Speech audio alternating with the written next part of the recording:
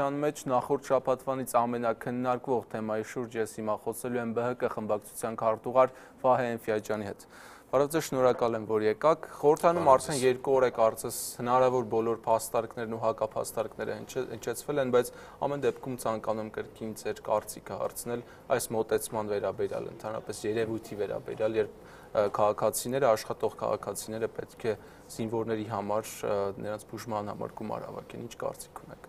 Արո բավականին մեծ բովանդակությամբ քննարկում արդեն իսկ տեղի են ունեցել եւ որպես այդպեսին վաղը դեռևս քննարկումները կշարունակվեն, որովհետեւ շուրջ 4 տասնյակ ազգային ժողովի падգամավոր մեր խորհրդարանի քաղաքական մշակույթի համար սա նաև կարելի ասել նախադեպը չունեցող մի դրսևորում է, երբ որ այդքան մեծ քանակով падգամավորներ ցանկություն են հայտնում խնդրի վերաբերյալ, օրենսդրական նախաձեռնության վերաբերյալ հարցեր տալու կամ վերլուծելու կամ իրենց դիրքորոշումը հայտնելու, սա միևնույն ժամանակ բնական պահանջ է, որովհետև թե հասարակությունը, թե մեր բանակի հետ կապված յուրաքանչյուր հարց, զինվորի հետ կապված հարց մեր համար ավելի սրտների սրտներից մոտիկ է եւ մեր համար ցանկալի արդյունքին հասնելու ճանապարհները բարոյական նաեւ ճանապարհներն են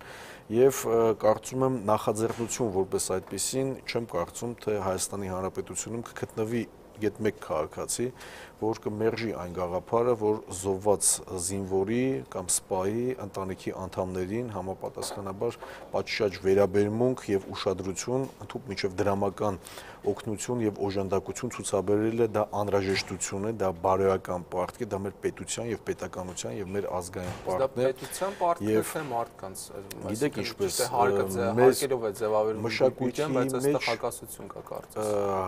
Հարկերից ձևավորվող բյուջեից եւս մեր բանակին մեծ գումարներ հատկացվում են որպես այդպեսին, բայց օրենքի նախաձեռնող մարդիկ, հեղինակները նաև մեկնաբանում են այս տեսքով, որ միասնական մոտեցում ունենալով, միասնական ներդրում ունենալով մենք ավելի ենք մոտիկանում այն գաղափարին, որ ազգ բանակ այս սկզբունքին։ Ես ինքս որոշակի վերապահումներ ունեմ այս հարցի հետ կապված,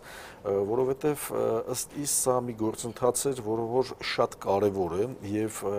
համազգային մեծ հաշվով գործընթաց էր եւ կարելի էր այս գործընթացի հետ կապված ամենանվազագույն կերպով խորհրդարանական լսումներ կազմակերպել եւ լսումների ժամանակահատվածում շահագրգիռ եւ մասնագիտացված հասարակական կազմակերպության ներկայացուցիչներին նաեւ որպես շահառու որպես շահառու հանդեպ բայց գիտե անելուց հետո անելը այն էֆեկտը չունի այսօր շահառուների նախարարը մտավորականության էր հանդիպել եւ հիմա գիտեք ինչ բևեռների մեջ է ձևավորվել ոնց որ քաղաքական գործիչների եւ մեր երկրի քաղաքացիների ես շատ բարձր եմ գնահատում այն հարցը որ մեր երկրում ազատ խոսքի իրավունքը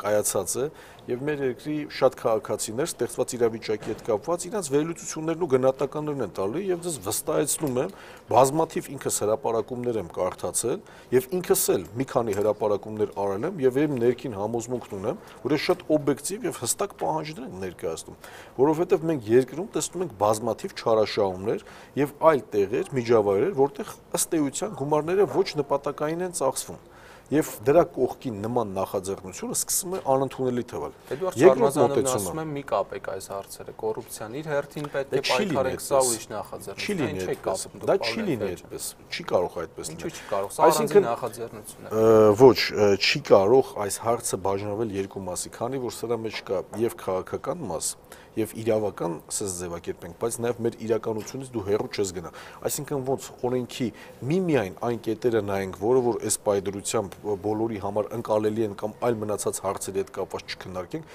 ոչ երկու հարցերն էլ, երկու հիմնահարցերն էլ խորացած եւ արմատացած մտահոգություններն էլ պետքա բարձրաձայնենք էլ, քննարկենք էլ, տեղն եկած տեղը քննադատենք էլ եւ մեր անձնական տեսլականն ու տեսանկյունն էլ ցույց տանք եւ ներկայացնենք, թե ինչպես ենք տեսնում խնդրի լուծումը։ Ես գտնում եմ օրինակի համար, որ կարելի էր այս հարցի հետ կապված ավելի զանգվածային եւ մեծ քննարկումներ իրականացնել, վերլուծություններ անել եւ հասարակության կարծիքը լսելուց հետո նոր նախաձեռնությունը սկսել։ Կոնկրետ կետեր ես կարծում եմ շատեր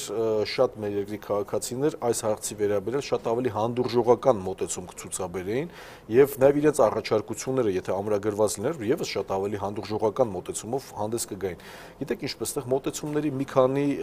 որպես այդպեսին սկզբունքներ կա։ Եթե մենք գործում ենք եւ մենք գործում ենք որպես պետություն եւ պետականության ամրապնդման տարվող գործընթացներ ենք իրականացնում, մենք պետք է ըստ էության մեր բյուջեով կարողանանք նմանատիպ խնդիրները եւ հարցերը լուծենք բայց եկեք հասկանանք մեր տարածաշրջանի նաև առանձնահատկությունները եւ հնարավոր զարգացումները եւ հնարավոր են ֆորս մաժորային իրավիճակները, որոնք որ կարող են տեղի ունենալ եւ պետք է պատրաստ լինել ամենատարաբնույթ զարգացումներին։ Ինքս մոտեցումների հետ կապված հիմա շատ են օրինակ բերում վերջին ապրիլյան 4-օրյա պատերազմական գործողությունների մեր զինծառայողների, զովասների ընտանիքների հիմնահարցերը, հաշմանդամություն ունեցող մեր զինծառայողների հարցերը, բայց կարծես թե քիչ է այսօր խոսվում, չեմ էլ ուզում այլ ձևակերպում տալ, նույն 90-ականների 4 տարվա մեր ունեցած կորուստների, նրանք էլ են նույն գաղափարի համար զոհվել, նրանք էլ են նրանցից շատերն էլ են աշմանդամություն ստացել։ Բոլորին պետք է օժանդակել եւ ներառել այս այս հարցի, եթե մենք մոտեցումը դնում ենք պետության եւ մեր երկրի քաղաքացիների վերաբերմունքը մոտեցումը, մենք պետք է նաեւ այս հարցի շուրջ կարողանանք մեր մոտեցումը եւ վերաբերմունքը ցույց տալ։ Ասում են, որ բյուջեն չի հերիքում, դրա համար ապագայի համար է նախատեսված եւ հունվարի 28-ից հետո դեպքերին միայն երկակի ստանդարտները մանավանդ նմանատիպ հարցերի հետ կապված ես չեմ կարծում դա լավ լավ բանի կբերի իսկ նախկինի հետ կապված տարաբնույթ երևույթները եւ դրսեւորումները բազում են եղել եւ մենք այսօր էլ խորհրդարանում բարձրաձայնել ենք եւ այդ խնդիրների մասին էլ ենք խոսացել չենք ուզում համատարած ինչ որ գնահատական տալ որ բոլորին ասենք որ բոլորն են արգելեցվել կամ այս խնդիրները բոլորին են վերաբերում բայց քիչ էլ չեն սպայական կազմում բարձրաստիճան սպայական կազմում, նույն գեներալների կամ գնդապետների կազմում, որոնք մեծ հաշվով մեծահարուստներ են, գերհարուստներ են, այս ձևակերպումը ասենք, եւ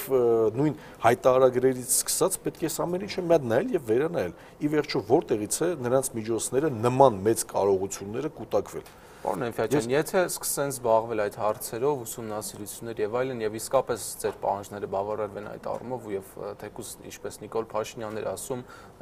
հանձնաժողով ստեղծվի, ամեն դեպքում դա ժամանակատար գործ է, իսկ այս նախաձեռնությունը շուրջ 1 ամսուկեսից 2 ամսից հիմա ասում հանձնաժողով վերջացնեմ, շուրջ 2 ամսից ըստ էության կսկսի գործել եւ արդյոք ըստ ձեզ հնարավոր է երկու ամսում ստվերից կամ կոռուպցիայից բերել այնքան միջոցներ, որոնք կբավարարեն այս հարցի լուծմանը։ Այ ես ձեր ասացի հենց տրամաբանությունը փորձում եի ընդհատելով նաեւ ներկայացնել եւ շարունակել, այ հենց այսօր մեր խմբակցության ղեկավար Նաիրա Զորաբյանը ներկայացրեց շատ կոնկրետ մոտեցումներ եւ հրապարակումներ կոնկրետ դեպքերի հետ կապված, որտեղ օրենքի չարաշահում է տեղի ունեցել եւ մարդ կա, որը որ հրապարակավ ասում է զինվորական մեր բարձրաստիճան պաշտոնյաների շրջանակում օրենքի տառը շրջանցող մենք գործնություն ծավալող սպաներ ունենք։ Պատրաստ է գալու հրաապարական ասելու, այս ազգային ժողովի ամբիոնը հրաապարակելուց, ներկայացնելուց հետո ինչ փաստերի մասին կամ ինչ հանձնաժողովից խոսանք։ Համապատասխան մենք պետություն ենք եւ իրավապահ մարմիններ ունենք, թող համապատասխան միջոցառումները ձեռնարկեն եւ իրականության հետ ինչքանով է առերեսվում այս խնդիրները, թող համապատասխան միջոցառումները նախաձեռնեն եւ ընթացք տան։ Ինչն է պատճառը, որ նման գործընթաց տեղի չունենում։ Ի վերջո, քանի դեռ ես ինքս ներքին համոզմունք ունեմ, քանի դեռ պատժելի չեն դառնում հակաօրինական գործնեություն ծավալող բարձրաստիճան պաշտոնյաները, այդ թվում նաև զինվորականների շրջանում, այդ հույսը հավատը չի վերականգնվելու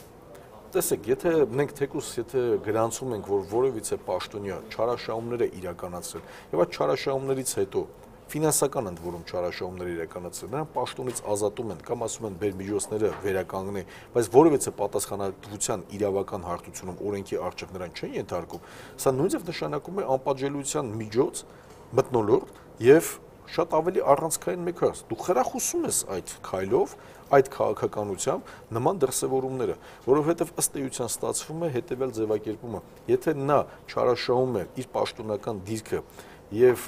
ամենաանցանկալի դրսևորումներն է որպես այդպեսին արձանագրում եւ դրա համար պատասխանատվության չի ընտարկվում նա բնականաբար կողքի այլ պաշտոնյա էլ է հակված նման գործելավոճով աշխատել կբռնվի, կբռնվի, չի բռնվի, իր համար ոնց որ հանգիստ վայելելու բոլոր նախադրյալներն ու միջավայրը կա։ Սա անթույլատրելի մոտեցում է եւ պետքա այս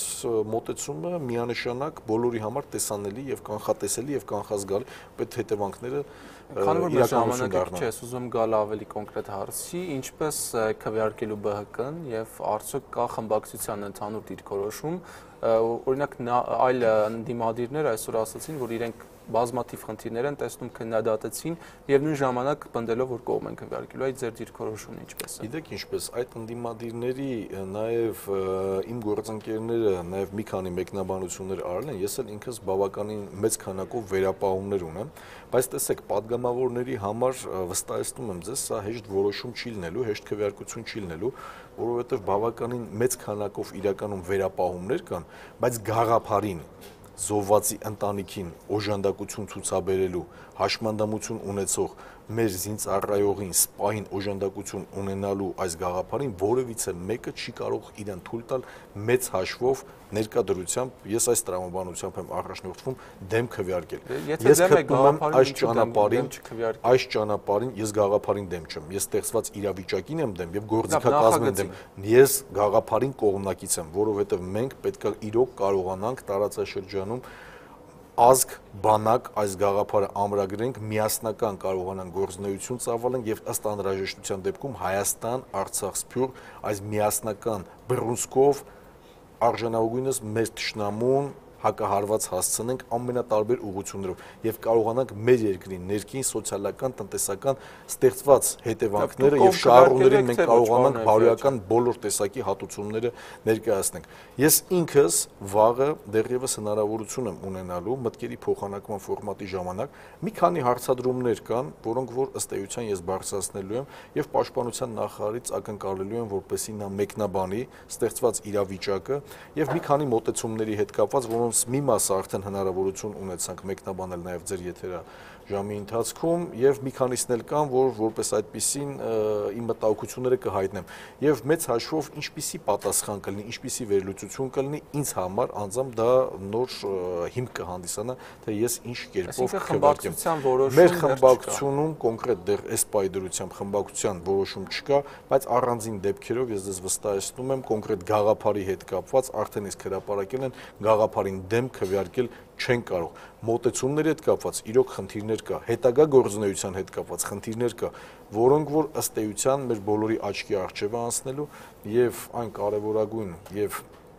մեր երկրի համար առանցքային նշանակություն ունեցող մեր ազգային բանակի հարցերը պետք է լինեն մեր ժողովրդի համար տեսանելի, ընկալելի եւ քիչ առաջ հիմնավորված այդ խնդիրները, որոնք որ արդեն իսկ մենք արձանագրել ենք մեր երկրում, մենք պետք է կարողանանք իսպար բացառենք մեր բանակում հատկապես։ Վերջում խնդրում եմ արագ ուղակի թվեք այն կետերը, որոնք ըստ ձեզ պետք է փոխվեն, որպեսզի դուք կողմ քվեարկեք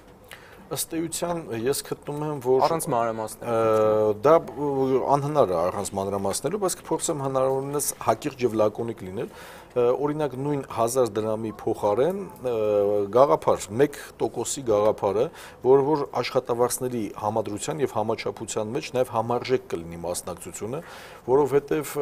որոշակիորեն ավելի ճկուն պետքա լինի մեխանիզմը, քանի որ մեր երկրում աղքատության շեմը բավականին բարձր է, մեր երկրի քաղաքացիների միջինացված տվյալներով եմ ասում, շուրջ 35%-ը ապրում է աղքատ, մենք պետք է կարողանանք նաեւ որոշակիորեն տարանջատել այդ մարդկանց, նաև որոնք աշխատանք ունեն, բայց իրենց մասնակցությունը ինչ ձևով պետք է լինի։ Պատկերացրեք մի ընտանիք, որ կենցաղային մի շարք խնդիրներ ունի, պետք է տրամաբանված լինի եւ իրոք արդար լինի։ Եթե մենք արդար նպատակի համար ենք այս ամեն ինչը ծառայեցնում եւ դա այդպես է, պետք է նաեւ մոտեցումներ արդար լինի։ Պատկերացրեք մի ընտանիք, որը որ 4 անդամ ունի, 1 անդամ է աշխատում եւ նվազագույն աշխատավարձի չափով է աշխատում։ Բնականաբար այդ ընտանիքի համար այդ 1000 դրամն մեծ նշանակություն ունի։ Նախագծի նվազագույն աշխատավարձ ստացողներից չեն գանձելու ոչ նվազագույն աշխարհ բոլորին է սա վերաբերվում եւ ըստ ցանկության նաեւ ավելի վճար ունենալու մասին է խոսքը գնում։ Եվ այս մոտեցման հետ կապված ես գտնում եմ որ բավականին մեծ խնդիրներ կան։ Կա արդյոք այլ կարևոր կետ, որը Եվ հիմա տեսեք, այստեղ հարցը որն է, ըստ էության լավագույն նաեւ բոլորի համար տրամաբանված լինելու հանգամանքը դա հրաապարակային բաց եւ թափանցիկ գործունեություն ծավալելն է։ Ինչքան գումար հավաքվեց, այդ գումարները ինչ նպատակների ծառայեցին։ Դե վստահեցում է ժամանակը, որ թափանցիկ է լինելու։ Այո, միևնույն ժամանակ ինչ որ մի շեմ կա, քանի որ մենք խոսում ենք ռազմական գործողություններից հետո հետևանքների շահառուների հանդեպ վերաբերմունք ցույց տալ եւ մոտեցումների որոշակի ներքին ռազմավարության հիմնահարցեր են ես կարծում եմ որ կառաջանան որ որ կարող է միգուցե այդ նման հարցերը քննարկվեն խորհրդարանի օրինակի փակ նիստերի շրջանակում բայց դրանք պետք է կրեն պարբերական բնույթ եւ պետքա խորհրդարանի ամբողջ ներկապնակով նաեւ 6-րդ գումարման այս ձև ձևակերպենք արդեն իսկ իրենց գործառույթների մեջ նաեւ ամրագրեն այս խնդիրը որ պետք է հիմնադրամի գործառույթների անմիջական վերահսկման եւ տեսանելի գործընթացներով ամեն ինչի մասնակից պետք է լինեն, որպեսզի մեր հասարակության մեջ այդ վստահության շեմը բարձրանա։ Շատ լավ, շնորհակալ եմ պարոն Էնֆիաճյան։ Իմ զրուցակիցներ ԲՀԿ խմբակցության քարտուղար Վահե Էնֆիաճյանը։